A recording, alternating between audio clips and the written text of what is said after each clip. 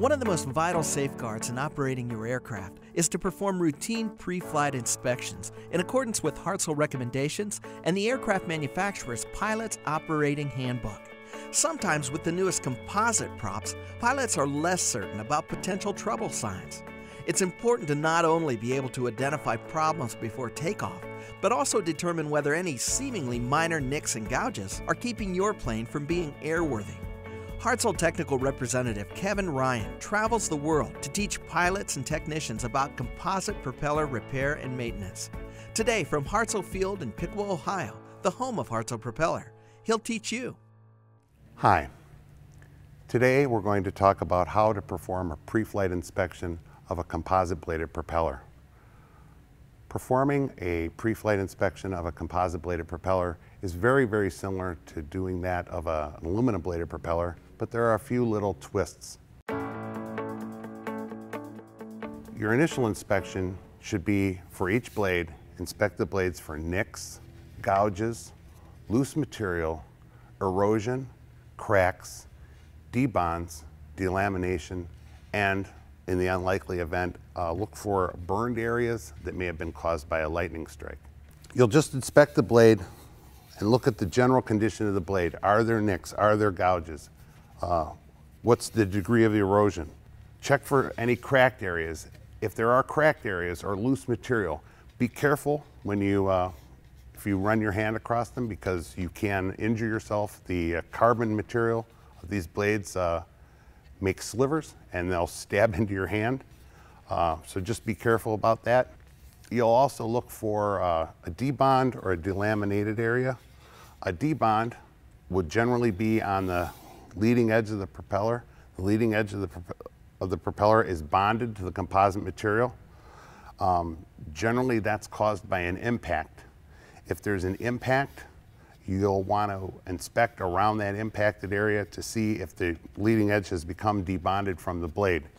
To do that, you'd uh, simply use a, a heavy washer and tap around that area like this and listen for dead spots. Another uh, indication of a debonded uh, leading edge would be uh, near the trailing edge of the leading edge. Uh, sometimes that material will raise up. A delamination often shows up as a delamination of the composite material itself, where the composite material itself separates. That will generally show up as a raised area on the blade sort of like a bubble. And if you see one of those, uh, you'll want to tap around that as well and determine the size of that delaminated area. Once again, there are limits for debonds, there are limits for the cracks, there's limits for the erosion. All the damage that you see on the blade can be uh, assessed using uh, Hartzell Manual 135, which is the overhaul manual, which is generally not accessible to the flying public. Hartzell Manual 170 is on our website and those same limits are in there. We also have a new service letter, Service Letter 360. Uh, that's specifically uh, oriented toward operators of NC 10245 blades. But the limits are in that service letter as well. You'll just want to inspect each blade uh, as you go through the, the propeller. Inspect them for the nicks, the gouges, the loose material, erosion, cracks, debonds, delamination, or any burned areas that might be caused by lightning. Since this propeller is operated exclusively off improved runways, I thought it might be useful to see a blade that's been operated off unimproved runways. This blade has what appears to be quite a bit of damage, but actually all of it is within airworthy limits. You see there's quite a bit of paint erosion, there is some damage on the leading edge, probably caused by a rock. There's also a small crack out here near the tip. The crack is within airworthy limits, uh, which you can look up in Hartzell Manual 170 or in Service Letter 360 if you have a, a NC 10245 blade. And this damage here, while it's a minor deformation,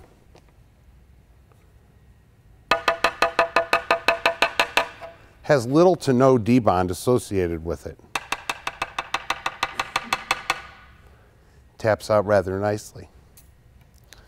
So we've got some paint damage. We have some exposed erosion screen out here near the tip, which uh, can appear to be exposed composite material, but if you look at it closely, it's actually uh, a metal screen, perfectly acceptable. Uh, you've got quite a bit of paint erosion, perfectly acceptable, and a very small crack, perfectly acceptable. All of these can be taken on a flight without any further uh, maintenance or addressing. They can be attended to after the flight or once the aircraft is in a location where it can be uh, maintained properly. Next, we're going to want to inspect the spinner.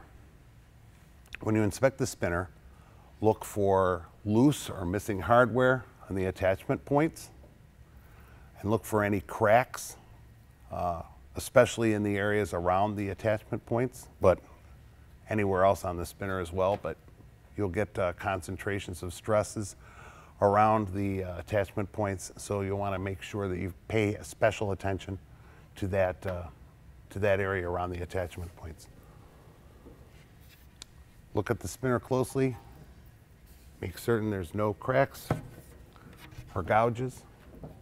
And all the hardware is installed and secure.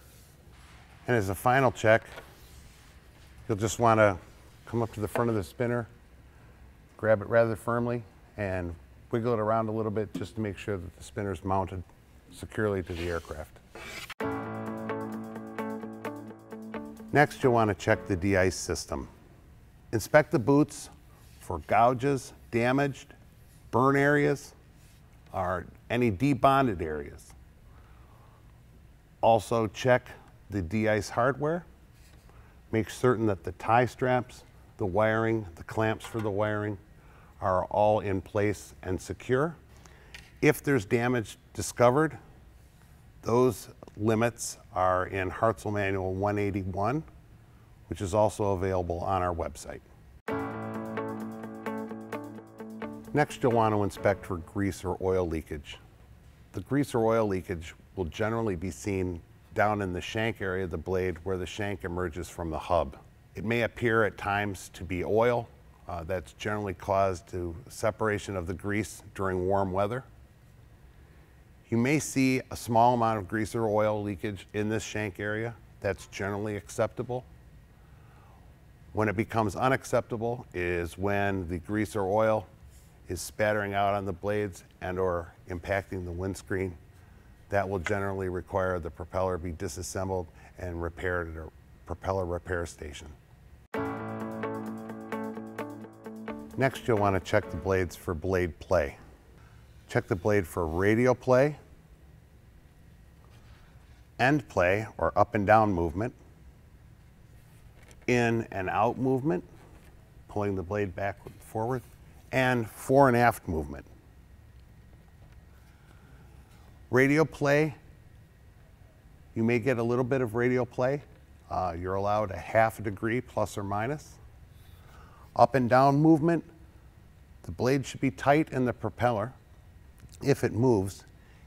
As long as it returns to its original position, that's acceptable. Your in and out movement, trying to pull the blade out of the hub as it were, there should be no movement there whatsoever. Your fore and aft movement, once again, you may get some slight movement there as long as the blade returns to its original position, that's acceptable. So that's how you perform a pre-flight inspection on a composite bladed propeller. If you're familiar with doing a pre-flight inspection on an aluminum blade propeller, you can see it's really not that much different. In fact, in some cases, it's a bit easier due to the damage tolerance on the composite blades. If you do see something that you're concerned about, there's information in your owner's manuals and in the field repair manuals that are on our website. Or you can always give us a call. Thanks for watching. If you'd like to learn more about pre flight inspections or have other questions about the safety and airworthiness of your composite propeller, speak to one of our technicians personally by calling Hartzell Product Support directly or by visiting hartzellprop.com.